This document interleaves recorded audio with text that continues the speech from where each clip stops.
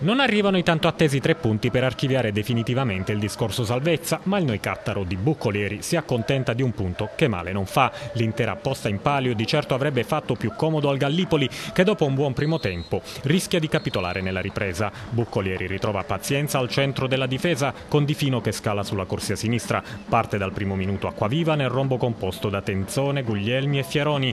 Nel Gallipoli del tecnico Alberto Villa, ex attaccante di razza, Cornacchia e Greco con compongono la coppia centrale difensiva con Sansò e Fasiello a centrocampo. Carrozza agisce in attacco con Legari e Iurato, arbitra Leone di Barletta. Al quinto, prima grossa occasione per Fasiello, ben smarcato da Franco. Il centrocampista però spreca malamente da ottima posizione. Il Gallipoli si dimostra maggiormente manovriero. Al decimo ci prova Carrozza, ma la conclusione è strozzata. I padroni di casa si affacciano dalle parti di Passaseo al quattordicesimo con l'inzuccata imprecisa di Pazienza pazienza sugli sviluppi di un angolo. Al diciassettesimo ancora Gallipoli pericoloso dalle parti di Sansonna, Legari calcia dalla distanza, Sansò addomestica in area di rigore ma il tiro è debole. Buccolieri prova a scuotere i suoi alla mezz'ora, Fieroni decide di fare tutto da solo ma la conclusione sorvola la traversa. La conclusione della prima frazione è a tinte giallorosse, prima ci prova Legari con una conclusione velleitaria dalla distanza,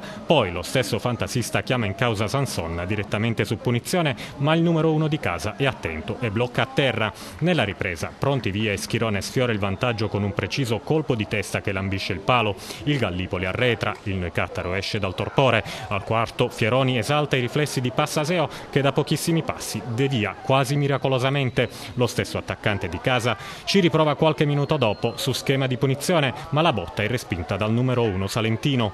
La chance per sbloccare giunge al minuto 14, angolo velenoso di Tenzone, Schirone controlla crolla, ma Greco salva sulla linea di porta. Il tentativo disperato in spaccata di Fieroni però è fuori dallo specchio. Il match cala di intensità, il Gallipoli tuttavia tenta il colpo ad effetto al ventisettesimo, ma Sansonna compie il miracolo sulla traiettoria insidiosa di Carrozza. Dopo due minuti di recupero, Leona manda tutti sotto la doccia, il Noicattaro può sostanzialmente dormire sogni tranquilli. Per il Gallipoli le ultime due di campionato rappresentano quasi due finali per evitare la lotteria dei play-out.